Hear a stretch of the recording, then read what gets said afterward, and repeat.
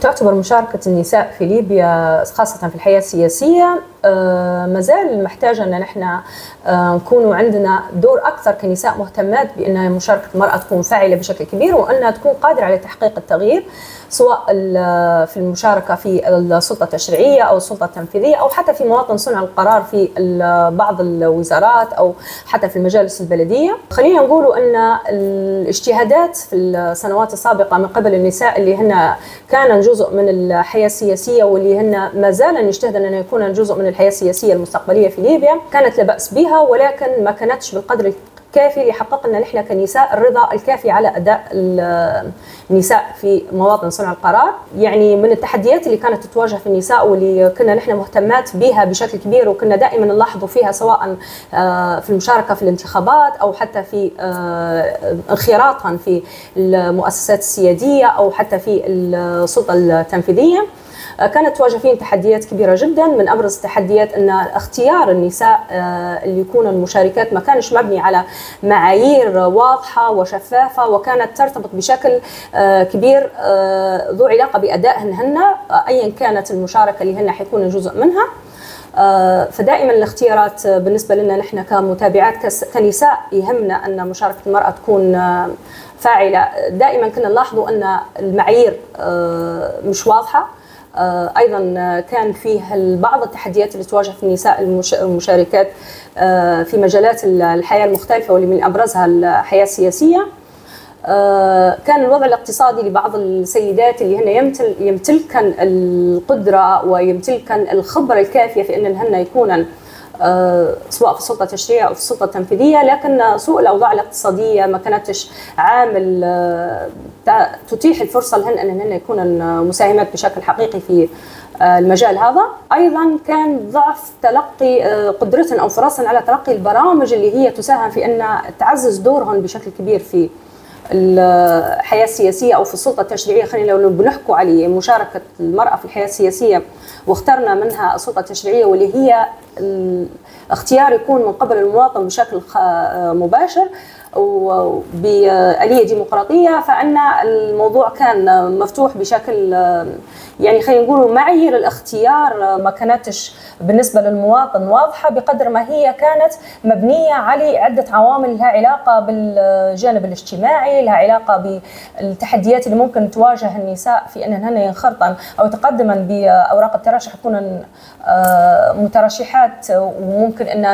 أي مترشحة من المفترض أن هي يكون عندها حملتها الانتخابية أن يكون صورها في المنتشرات في الشوارع أن هي تكون مثلا آه، مساهمة أن بتعرض حملتها الانتخابية أو خطتها الانتخابية من خلال المنابر الإعلامية. فكانت هذه من التحديات اللي تواجه في النساء من قبل الأسرة. فبعض النساء اللي يمتلكن القدرة أنهن يكونن جزء من الحياة السياسية هذه أمتنع أنهن يكون جزء منها بسبب آه، معارضة أسرهن أنهن يكونن يطلعن في الإعلام أنهن تكون صورة المرأة هذه قاعدة مثلا معروضة في الشارع وتعرض رسالتها الانتخابية والخطة نتاعها للمواطن أن هي إن هي تتواصل بشكل مباشر من خلال البرامج اللي ممكن إن هي تنظم كالمناظرات وكالندوات وكالبرامج اللي هي تستهدف المواطن بشكل مباشر وتكون آه، من دورها تعزيز العلاقة بين المواطن وبين السيدة هذه بحيث إنه هو يطلع على شنو تقدر السيدة هذه تقدم له من خلال آه، انخراطها في العمل السياسي كيف إنه يكون في ثقة آه، متبادلة بينه وبينها بينه وبينها. آه، خاصة وأن نحن صوره نمطيه للمرأة في ليبيا دائما هي الصورة اللي هي خذينا عليها على مدار سنوات إن النساء دورها النمطي ممكن إن المرأة تكون معلمة. المرأة تكون يعني موجودة حتى لو كانت منخرطة في الوزارات فدائما تخصص وزارة الشؤون الاجتماعية للمرأة في مشاركة سياسية حقيقية فيها تحدي كبير للمرأة آه، إن هي تكون منخرطة فيها. إلا آه، لما كان في مثلا آه، في حكومة الوحدة الوطنية تفاجأنا أن كانت في دور للمرأة أنها تقلدت منصب وزيرة خارجية فهذه كانت نقلة نوعية بالنسبة لنا نحن كنساء في ليبيا أنها تكون في وزيرة خارجية مرأة. طريق أن دور النساء يكون أكبر من هيك في ليبيا ولكن مع الأسف لكونها مرأة كانت آه، دائما هي العرضة الأولى للنقد وللتنمر ولل آه، كل عمل تقوم به وزيرة الخارجية هو آه، محط للانتقاد من قبل المواطن على عكس الأداء اللي كانت تقوم به كانوا يقوموا به الوزراء رجال. هذه واحدة من التحديات اللي تواجه فينا نحن في ليبيا كنساء. عندهن بيئة يعني خلينا نقولوا يشوبها الكثير من التحديات والمشاكل والعراقيل اللي هي تحتاج المرأة أن هي تكون على دراية بها وفي نفس الوقت تشتغل على نفسها إن تكون عندها القدرة الكافية على انها إنها هي تتخطى التحديات هذه. آه، كدورنا نحن كنساء مفترض أن إحنا نكون داعمات للسيدات اللي هن آه، مشاركات في الحياة السياسية. فشو المفترض أن إحنا كنا نشتغلوا أو خلينا نقول كان في أساسا مبادرات سابقة أن هي مثلا على سبيل المثال نسبة مشاركة النساء في السلطة التشريعية وأيضا نسبة مشاركتهم في السلطة التنفيذية وخاصة بعد حوار جنيف لما كان فيه آه، اتفاق نتيجة الاتفاق هذا كانت آه، مشاركة المرأة 30% على الأقل أنهن يكون جزء من السلطة التنفيذية. ولكن مع الأسف ما شاهدناش أن كان في تطبيق آه، فعلي للاتفاق هذا وما شاهدناش أن المرأة يكون دورها 30% على الأقل من السلطة التنفيذية. ولكن على الأقل كان في مساعي كان في حملات مناصرة كان فيه آه، برامج كان في مبادرات محلية من قبل النساء المهتمات والناشطات الحقوقيات والسياسيات انهن يدعمن انخراط النساء في المناصب السيادية في السلطة التنفيذية وأيضا يدعمن النساء اللي هن عندنا رغبه انهن يكونوا جزء من السلطة التشريعية. آه، قادت النساء الكثير من البرامج اللي هي من دورها أنها هي تعزز دور المرأة في ليبيا سواء بتقديم البرامج التدريبية سواء بدعمها في آه، طرح القضايا والمشاكل اللي تواجه في آه، المجتمع الليبي بشكل عام. وكيف أن مفترض أن المرأة تكون على دراية بالمشاكل هذه بحيث أنها تكون محط اهتمام النساء اللي هن منخرطات في الحياة السياسية مستقبلا وكيف من آه، من المفترض أن هي تساهم في أنها هي تحد من المشاكل هذه وتحد من معاناة المواطن في عدة مجالات.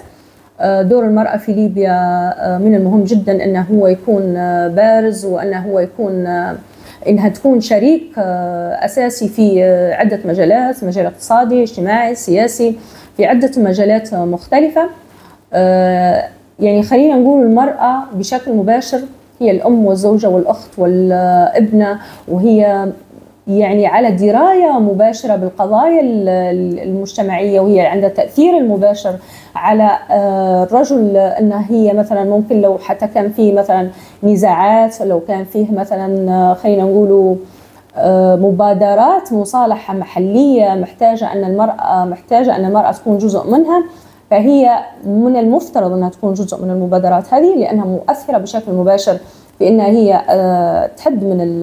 من النزاعات. بحيث أن نحن نثبت دورنا كنساء قادرات أن نحن نغيروا أن نحن نشتغلوا على غيرنا من النساء ندعموهن اللي هن يكون جزء من أي مواطن صنع قرار أخرى سواء في السلطة التنفيذية في السلطة التشريعية في المجالس البلدية أيضا. واللي تعتبر مهمة جدا في انها هي تقدم الخدمة المباشرة للمواطن. يعني إحنا لما نجون بنحكوا على تسلسل سلطات المواطن من وين يتلقى الخدمة بشكل مباشر؟ الخدمة المباشرة بيتلقاها المواطن على صعيد البلديات وعلى الصعيد المحلي البلديات. المجالس البلدية هي دورها آه، مباشر بالمواطن. فدائما نشهد أن النساء في البلديات من حيث العدد آه، نسبة وتناسب هن دورهن لا يذكر. وجودهن لا يذكر ولكن آه، دورهن هذا ينعكس أيضا على دورهن في المجالس البلدية واللي هي تقدم الخدمة المباشرة للمواطن. فجزئية أن نسبة مشاركة المرأة في المجالس البلدية آه، ضعيفة هذه مش بس من خلينا نقول مش بس القانون هو السبب فيها لأن حط نسبة مشاركة المرأة هو اللي حدد نسبة مشاركة المرأة. القانون قال على الأقل ولكن هذا ما يمنعش أن آه، ممكن يكون خمسة من أصل سبعة نساء.